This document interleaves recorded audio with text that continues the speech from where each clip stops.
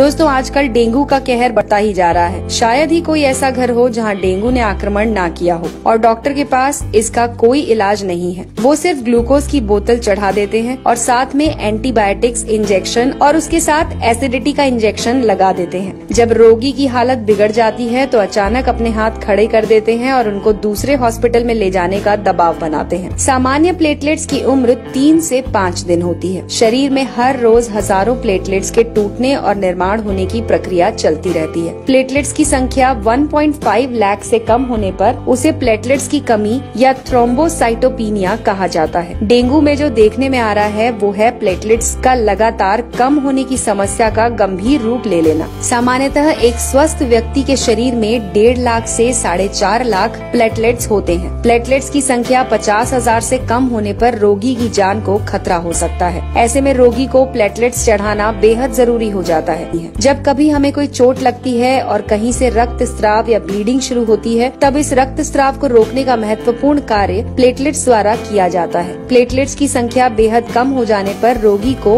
अंदरूनी रक्त स्त्राव शुरू हो सकता है, जैसे कि नाक या दांत से खून निकलना, पेशाब में खून आना, चमड़ी के नीचे लाल थक्के जमना। ऐसे लक्षण नज़र आने पर रोगी को तुरंत उपचार करना चाहिए। तो दोस्तों, आइए जानते हैं कुछ आयुर्वेदिक और घरेलू नुस्खे जिससे आप अपने प्लेटलेट्स की संख्या बढ़ा सकते हैं। इसमें सबसे पहले है पपीता। जी हाँ दोस्तों प्लेटलेट्स की संख्या बढ़ाने के लिए पपीते के पत्तों का रस सफलता पूर्वक प्रयोग किया जा रहा है। 2009 में मलेशिया में हुए एक अध्ययन में ये निष्कर्ष निकाला गया कि डेंगू बुखार में ताजे और स्वस्थ पपीते के पत्तों का रस देने पर प्लेटलेट्स काउंट बढ़ने में सहायता मिलती है। पपीते के पत्ते का रस आप अपनी क्षमता के अनुसार 10 से 20 मिलीलीटर दिन में दो से तीन बार ले सकते हैं। अगर आपको इसे पीने से उल्टी होती है तो ये नहीं लेना चाहिए। पपीते का फल खाते समय पका हुआ फल लें और उसे खा लें। दूसरा है गेहूँ ज्वारा, यानी कि वीट ग्रास प्लेटलेट्स काउंट बढ़ाने के लिए आप गेहूँ की घास का उपयोग भी कर सकते हैं। 150 सौ एम स्वच्छ और ताजे गेहूँ के घास का जूस पीने से केवल प्लेटलेट्स ही नहीं, बल्कि हीमोग्लोबिन सफ़ेद रक्त पोषी और रोग प्रतिकार शक्ति बढ़ाने में भी सहायता होती है। तीसरा है चुकंदर। दोस्तों, चुकंदर में प्रचुर मात्रा में एंटी होते हैं और साथ में इसका सेवन करने से हीमोग्लोबिन और प्लेटलेट्स की मात्रा बढ़ने में भी सहायता मिलती है। रोगी को इसकी स्वादिष्ट और पाचक सब्ज़ी बनाकर खिला सकते हैं, या फिर इसका 10 एम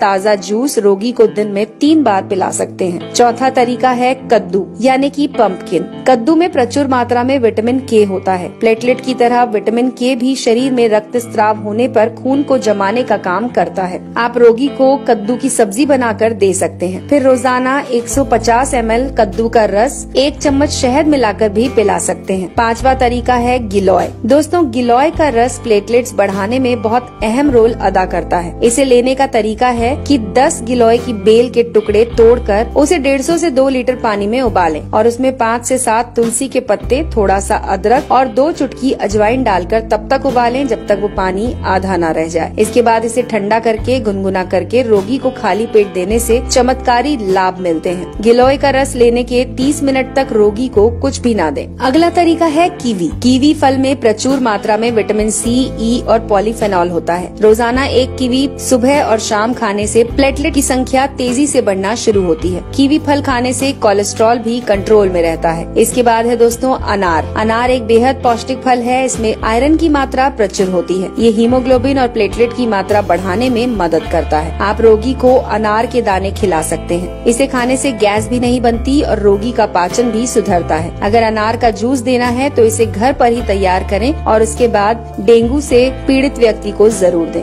दोस्तों, हमारे शरीर में पानी का बड़ा महत्व है। शरीर में रक्त के निर्माण होने के लिए पर्याप्त मात्रा में पानी होना ज़रूरी है। व्यक्ति को रोज़ाना आठ से दस गिलास पानी अवश्य पिलाना चाहिए। डेंगू में शरीर में पानी की कमी होना बहुत बड़ी समस्या होती है। इसके अलावा दोस्तों, कुछ उपयोगी सलाह है जिन्हें आप नोट कर सकते हैं। प्लेटलेट्स की संख्या कम होने पर पेट के अंदर की त्वचा लाल हो जाती है, जिससे एसिडिटी और गैस की समस्या बढ़ जाती है। ऐसी हालत में रोगी को कच्चा, भारी, तीखा और मसालेदार नहीं देना चाहिए। चाय, कॉफ़ी, शराब और धूम्रपान से दूर रहना चाहिए। रोगी को एक साथ अधिक आहार देने की जगह थोड़ा थोड़ा आहार हर 20 से 30 मिनट में देते रहे। प्लेटलेट्स कम होने पर बिना डॉक्टर की सलाह से कोई भारी दवा या चूर्ण लेने से हानि हो सकती है। यदि रोगी तुलसी के पत्ते और पुदीना की पत्ती मुँह में रखे तो मुँह का स्वाद बिगड़े बिना वो जल्दी स्वस्थ हो सकता है। छोटी इलायची के बीज मुँह में रखें और चूसते रहें। ये भी प्लेटलेट्स की संख्या को मेंटेन करते हैं और घटने नहीं देते। तो दोस्तों, ये थी जानकारी जो जुड़ी हुई थी